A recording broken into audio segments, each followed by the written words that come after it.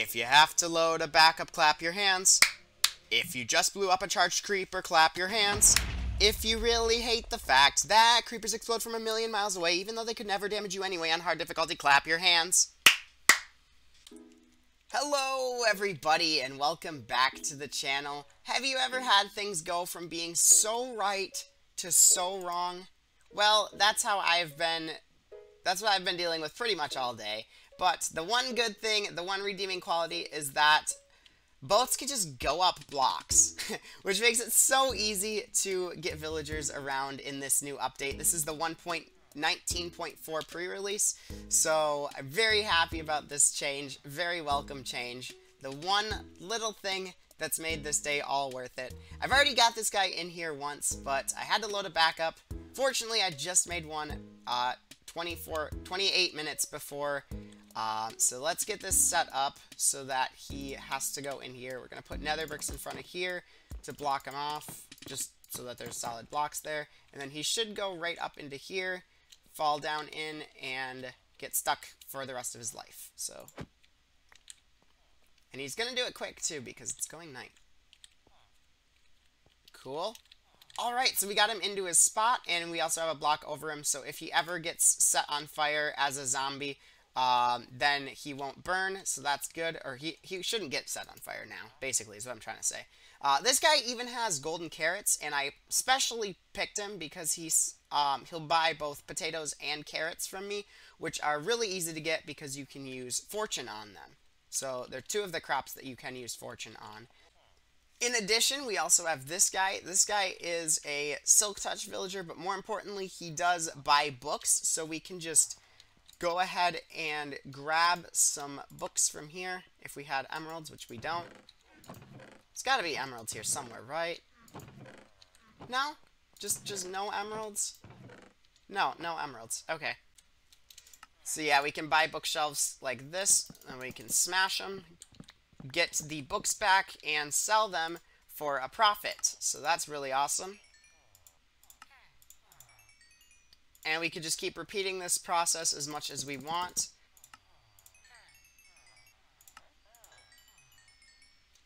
And just like that, we've made a 24 emerald profit in a very quick amount of time. And that's really all there is to that. I'm very excited about this. Uh, and now, something that I've learned that you can do is you can turn emeralds into iron which is a really weird concept. But here's how it works. It'll take one block of emerald to do this. So you take a block of emerald, and you just literally just throw it on the ground, and you get an iron ingot. Now, it's, it's not that simple. It'd be amazing if it was, but it's not. So you're going to craft your emerald block into nine emeralds, and you're going to go up to a villager. But not just any villager. It does have to be a armorer, blacksmith, or armorer, toolsmith, or weaponsmith. So basically any one of the blacksmith category, and you could just buy boots. And you're going to just do this. And you do it, and you do it, and you do it until you have nine of them. I had just the right amount of inventory space for that. I'm going to go over here so I can pick up the XP. Um, and you're going to go ahead and just smelt these down into the iron nuggets. And once you get nine of these, you can craft them into an iron ingot. So that is how you can turn a single block of emerald into a, an iron ingot, and that's not horrible, but it is kind of bad. Um, I wouldn't recommend doing this. Clearly we have more iron blocks than emerald, so it'd actually just be easier to exchange our iron blocks that we have at beacons for emerald blocks. It'd be a much easier process than doing this, but once you get a ton of emeralds, this actually is a valid way of getting uh, iron. Although I would definitely suggest using an auto smelter if you're going to do that. And that new librarian villager that we have over here was from a zombie villager I found while I was building this pathway. Um, this pathway goes over to our mining operation, and we'll actually check it out while I'm talking. Built a little campsite here. Um, but I found a zombie villager while I was building this, and I had some azaleas on me. That's how I was getting the rooted dirt. And I threw him down, and sure enough, he picked him up. So I'm like, ah, cool, you can pick up loot. So I went over to my villager um, thing. I got a diamond helmet, which I had saved up from the armor that we have over there. Uh, I gave him the diamond helmet. The, the zombie villager, I gave him the diamond helmet so he wouldn't burn in the sunlight, just in case it went to daytime. I brought him over to our village and I cured him. And it's a little laggy for some reason. And I made him be a librarian so that way we could get more of the books. So yeah, definitely welcome to get more villagers in our village thing. We are going to have to change that at some point. Yeah, it comes over to here. I want to continue this to go up over this mountain because uh, we have our beacon out this way. If we can find it. It's going to be hard because I have the beam turned off, but it's definitely near here because I got the effect. I think it's right down here, if I'm not mistaken. Yep. Oh, I didn't mean to fall down there. Well, I wasn't really sure what I wanted to do this episode, but now I'm pretty sure I do know, because 1.20 is just around the corner, and we are in the 1.19.4 pre-release, which was supposed to be the Birch Forest update, or, well, you know what they say, concept art isn't a commitment. So, but our Birch Forests are still definitely in need of an update. So, what are we going to do? Well, we don't have any birch forests around here, but we do have a regular forest, so why don't we update that with some new birch tree features? But how are we going to do that when, for one, we don't have any new blocks to do that with, and we don't have any idea what an updated birch forest would look like? But actually we do, because we can take that very concept art and make it our own with taking the ideas from it and making it in our world. So first things first, we're going to mark out an area where we want our new birch forest to be. So we have to clear out the entirety of the forests that we have ahead of time. Uh, so we're going to mark out this area. Ooh, I want that hill in it though. Hmm, I guess we'll have to go this way. Alright,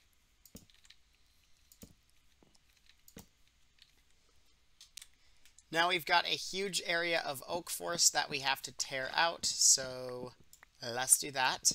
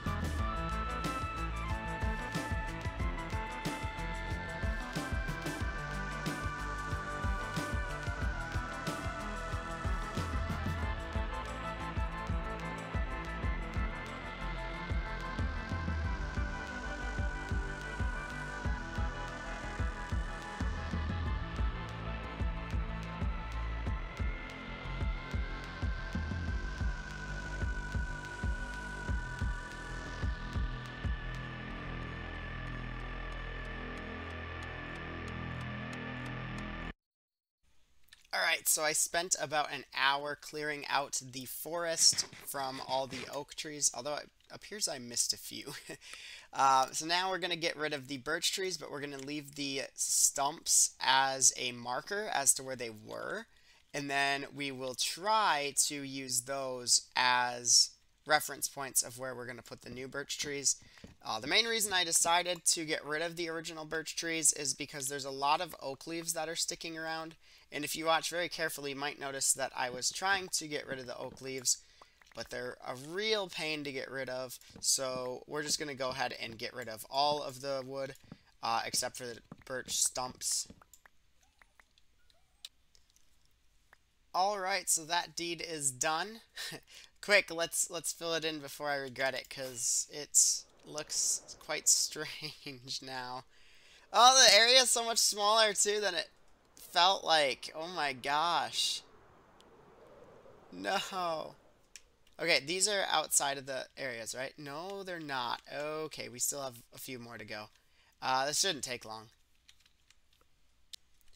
Alright, so that deed is done now. For real. Uh, so the first thing I'm going to do is I'm going to go and I'm going to take some dirt, which I have like zero of, apparently. Um, yeah, that's a problem. Uh, I'm trying to think how we could get... I guess we'll put these guys in boats so that they're not bothering me after this point. Uh, we have plenty of wood to make boats, as you can see. Um, I crafted a stack of barrels so I can store stuff in them. I've been using chests, and I've just like always carried chests on me. But uh, barrels are slightly cheaper, so it's like, eh, why not use barrels? But when you miscraft them, it's kind of like pointless anyway. So uh, yeah, so they should once they swarm around me enough, they should eventually get into the boats. I find boats are just really good ways of keeping mobs in place, um, in a place where you want them. So especially now because of the changes made to them. So in order to make the big birch trees, what I'm going to do is I'm going to stack up some birch logs and then I'm going to put a uh, dirt block on top. Wow. Uh, and then I'm going to bone meal that and not have enough bone meal. So that was three bone meal. I used an entire stack of oak saplings to get three bone meal. So, and that's not even enough to grow a single tree. So I'm pretty sure uh, th that was in a composter. Ooh, um, I'm pretty sure the better way to get bone meal is probably not by composting oak saplings and is probably instead by using bones or bone blocks. And since we have tons from our uh, skeleton farm that we haven't used in so long, but we still have so much left over, uh, we will we'll be using those instead. All right, now let's Whoa, holy. Holy. Alright, so we got our giant tree in place. Um, looks pretty interesting. Now, one thing the concept art showed, uh, actually, let me let me show that on screen for a second here. So you'll notice that a lot of them have like a random side jutting out. So we're going to go ahead and place an extra block in like that. So there we go. Cool. it looks so strange. But also looks really good. Uh, it's just not something that you see in Minecraft very often. So, uh, yeah. And then another thing is a lot of them have mushrooms growing on them. And I couldn't really, we can't really put mushrooms on the side of blocks, but what we can do is we can put buttons on the side of blocks. So, uh, we can use either oak or uh, spruce buttons for that. So actually even mangrove might look good. So we'll, we'll go ahead and make some buttons. I'm going to start with oak. If they're too light in color, we can switch to spruce. Um, I don't want to do these too many of these, but uh, actually these might work. Oh, yeah, that doesn't look too bad. Um, let's put this one up a little bit higher so it doesn't look like it was just at the top of my reach distance.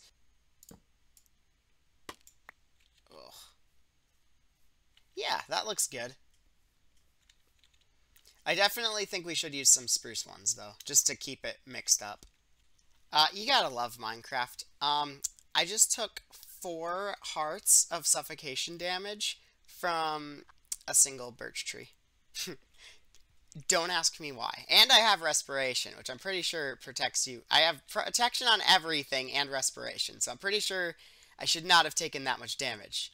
But okay. And the I only took half a heart of fall damage too, so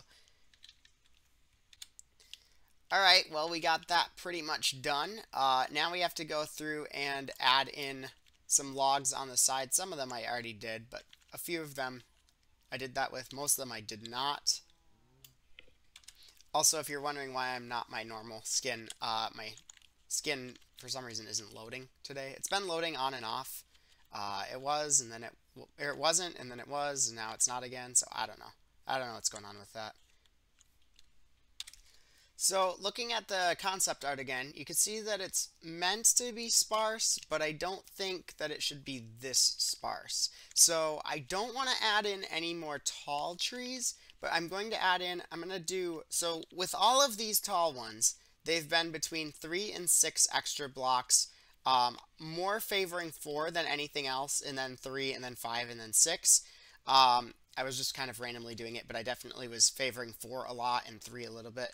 So um, there's only like two or three that are six blocks extra, plus the base, plus the um, dirt. So there's between um, five and eight blocks. These are all between five and eight blocks higher than a normal birch tree. Um, what I'm going to do now is I'm going to add in some more uh, periodically. But this time, we're going to have them between 1 and uh, 1 and 2 blocks taller, uh, which is then going to end up being 3 and 4. So anywhere I just see like a really big gap, I'm going to try to put like a couple in. So, and I'll try to do them more in the lower areas so these don't detract so much from the actual tall trees. Uh, like I definitely want to put in some like here. And hopefully these are um, far enough apart and low enough that they won't actually interfere with the the height ones. I don't want these coming anywhere near the height ones, the, the really tall ones. Okay, I have no idea how many of my time lapses I've recorded, so uh, yeah, so ne uh, the next thing we're going to have to do, uh, I did go ahead and put in some some extra ones uh, that were a little bit shorter uh, between uh, two and five extra blocks. So yeah, that's that worked out. Um, I'm trying to kind of get a view of how dense it is as of right now. It does look better. Um, it's still, yeah, this spot's very open. That might be a problem. I don't know, maybe not though. I'm not sure. So yeah, the next thing I want to do is add in the little branches on some of the trees. Uh, let's just go up and down the... I guess I'll do it by chunks so I don't miss any chunks. So yeah, let's do that. So like I'll like that way I won't have certain areas that are way more heavily influenced by it. So I'll do like 1 in 3, and then I'll have like 1 in 9 have 2. So, like, maybe this one. Yeah. And I'll try to randomize which direction it's into. Alright. Unbelievable. Alright, so we didn't have any bees in our world because we've farmed bees in the past, but they've all despawned for some reason. Uh, but what we did have was birch saplings, which you could grow into beehives. Um, there's a chance that when you grow a birch sapling, it will form a beehive on it if it grows near a flower. So I got a bunch of beehives full of bees now, and we're going to put some of them in place. So uh, I think we will put like four up. Uh, hopefully these bees don't despawn, but even if they do, it'll be okay. It'll be okay. Uh, we'll put a honey block in to show that like the honey is dripping because the honey is full. Yeah, nice. Uh, oh, we should definitely have flowers near here. Uh, shoot, I don't have any on me. Um, I don't want them going too far away to find flowers, so Um, that's going to be important. Alright, so we got the bees in place now. Or the beehives. Well, I guess the bees as well. Uh, we got four of them in. We might add some more later on, especially if these guys despawn. Uh, but next thing we're going to add in is we're going to... I've used bone blocks to mark out where I want dead logs. So anywhere I saw like a kind of a gap where I thought something could go, whoops, uh, I put in bone blocks. So let's go get some more birch wood. Uh, I'm not really sure how long it took to do the bee thing. It took quite a while, but um, I it was like one night that I started, and then the next day I didn't have a chance to go on Minecraft at all. And then I, um, now I'm working on it today, and it's it's morning right now. So it'll be pretty simple for some of these, but some of these are like on slopes, so I think maybe we can have it kind of like this. I think that'll work. Yeah, let's do that. Alright, so I came out here to the mangrove swamp, uh, because it's I have found one, but it's like like 4,000 blocks away, so I'm trying to find a closer one. And I just found this weird formation of sandstone. I'm like, what is that? I'm pretty sure it's an ocean ruins that spawned... Although this is an ocean biome. Whoa! Also, this is kind of random, but it looks like ancient debris can actually replace uh, basalt in generating, so that's kind of interesting. Alright, so we went to minus 300 and positive 500 in the nether. And hopefully this takes us to a mangrove swamp. Uh, well, we're in new terrain. That's good. It's not showing the biome for some reason. Okay, we're in a savanna. Hmm. okay, okay. Yeah, we've been in this area before which is where I've gotten... Whoa. Whoa, whoa, whoa, whoa. So one thing I want is these leaves. What tool do you use to break these? Axe? Okay. That's strange, but okay. Um, I'm not sure... Oh, there's naturally generated moss here. Interesting. Okay, I'm not sure how these work. So, I think these have different ages. So do you just plant them and then grow them? Is that how these work? I hope so. I'm going to take some of these back with me. Also, I've never seen a frog yet in survival Minecraft. Um, I've never seen a naturally spawned frog, period, in Minecraft. I've only seen them in creative mode from a spawn egg. So, uh, that is one thing we will be on the lookout for. Because I want to get Okay, so lava pools can generate. And oh, yeah! Okay, we got a frog. Um, so these guys eat slime balls, apparently. I need another one. So these guys are ludicrously rare. They're supposed to spawn in regular swamps, and I even... Oh my gosh, they're so slow. Um, I even went to a swamp biome. Let's put them on a lead instead, because I feel like that would be a little bit quicker. So we're going to put you on a lead. Yay, another froggy. Okay, so you come here. We need to go to water now. So that shouldn't be hard because we're really close to sea level. There we go. This is actually a pool, isn't it? Yeah, because this should be underwater if it weren't. Well, that's fine. Um, actually, no, this is a water cave. Interesting. Okay, so we will do this. Whoa,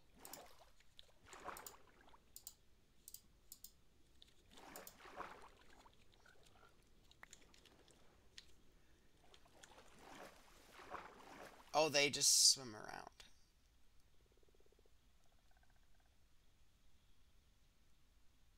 Okay. Cool. Oh, they give you XP right away. That's nice. So now I'm not sure if you can like step on these or if they'll break. Um, but I'll wait for these to hatch now. So I just found this village that spawned partially in a swamp biome. So the question is, do the villagers have the swamp skin? And the answer is no, they do not. They have the biome that the village was supposed to spawn in skin, and not the biome uh, that they actually do spawn in.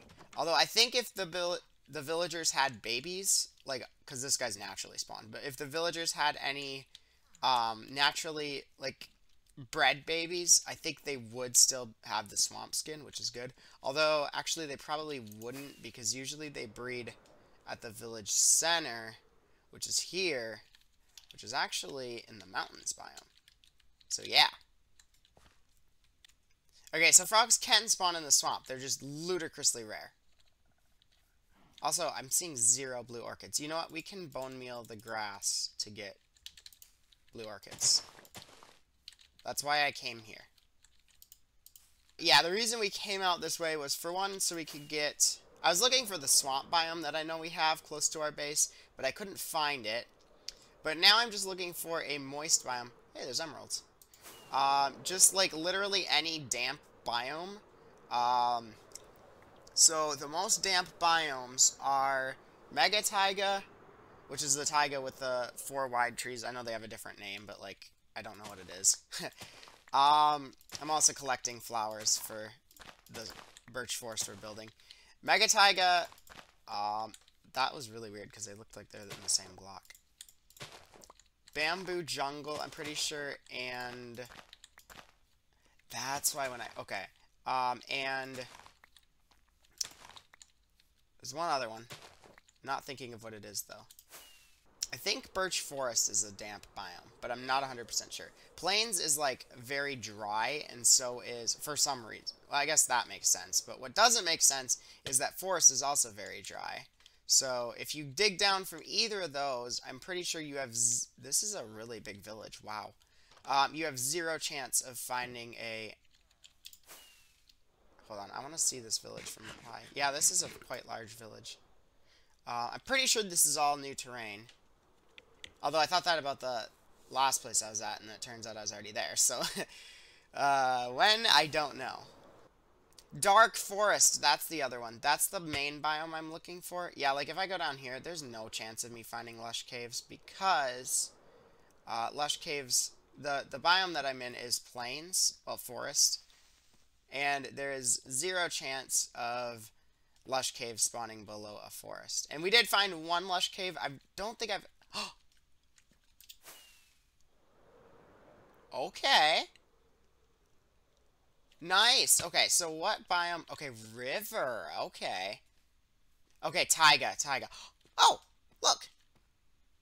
Old growth pine taiga. So that is, it's funny that it's called pine and we don't even have pine trees in Minecraft. But um, that is the mega taiga. So I came here to get spore blossoms. In the last, uh, the actually, I think it's the only lush cave I've ever found up until this point. Um, the one that I just found was very small, and I only found three. Um, I love how these are like updating in real time. I could see them.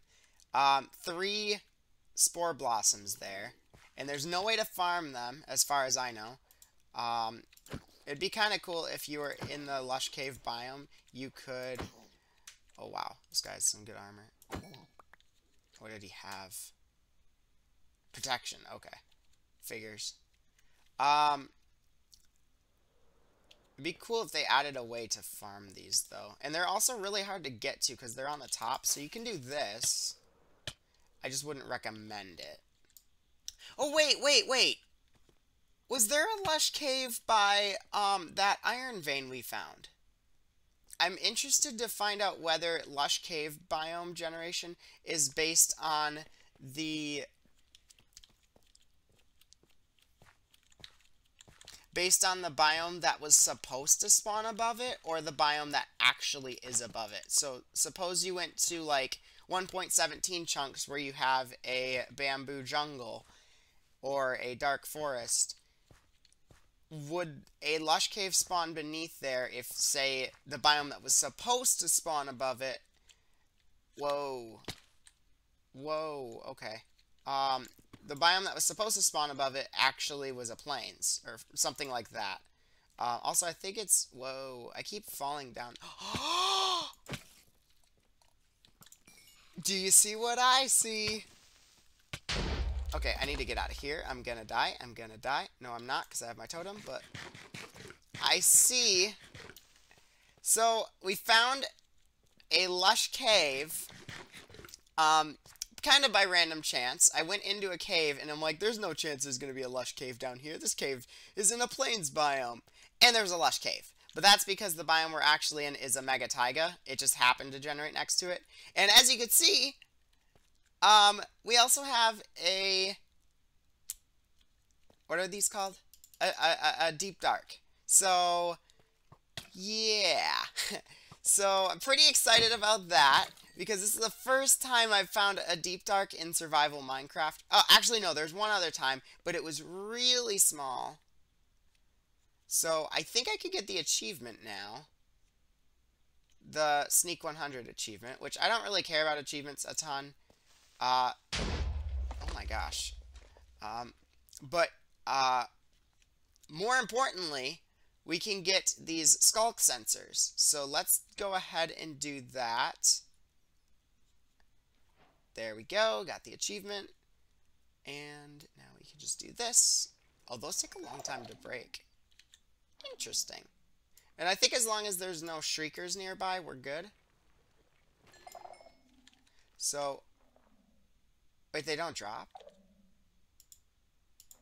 What do you mean they don't drop? Do you need Silk Touch? Wait.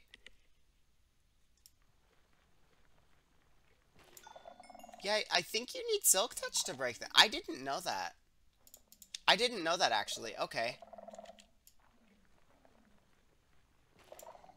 Yeah, you need Silk Touch to mine them. Okay, interesting. I didn't know that.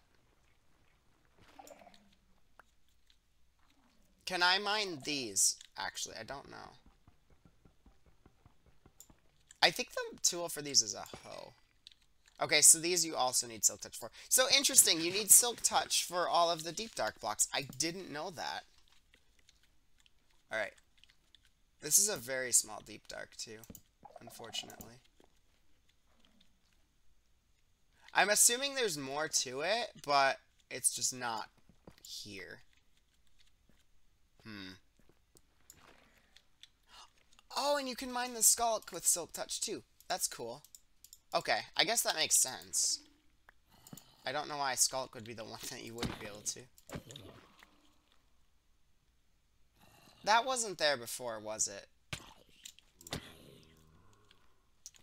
So, you can just get Shriekers from that's concerning. Because that's a Shrieker. Which means that it can spawn the Warden. And there was no Shrieker there before. So you could just get Shriekers from killing mobs. Also, the really bad thing is I now have one um, Shriek against me. And if it goes to, I think, 4 is the number then it will spawn the warden even if like it's a totally different I don't know if it's like a distance thing or if it's like a cooldown thing. I really don't know how that works. Oh my gosh, there's so many skeletons. Alright, we gotta get out of here. Why are there so many bloody skeletons? I literally can't get away from the skeletons. I don't even care at this point. So, just as an update on how the outposts are going, I haven't changed anything with this outpost yet, but I am using it right now. So, that's something. And the world isn't loading. Okay, there we go. We need to go this way, yeah. Where does that go? Oh! Oh, no, no, no, no, no, no, no. That's not good.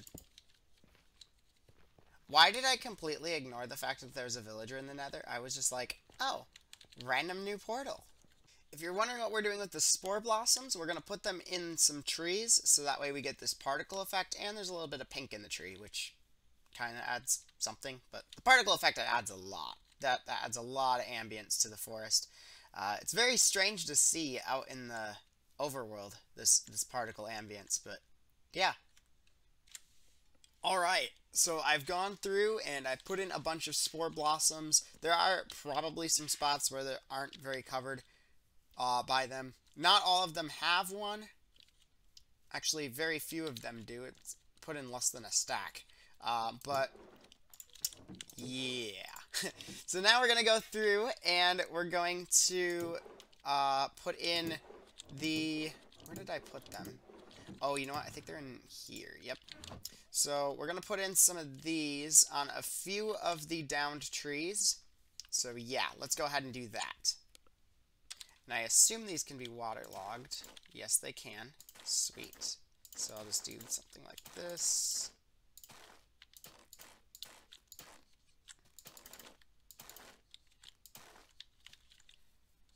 Yep, nice. Let's do a little bit more. So are you ready for the final result of what it finally looks like now that we're just about done? Well, here it is.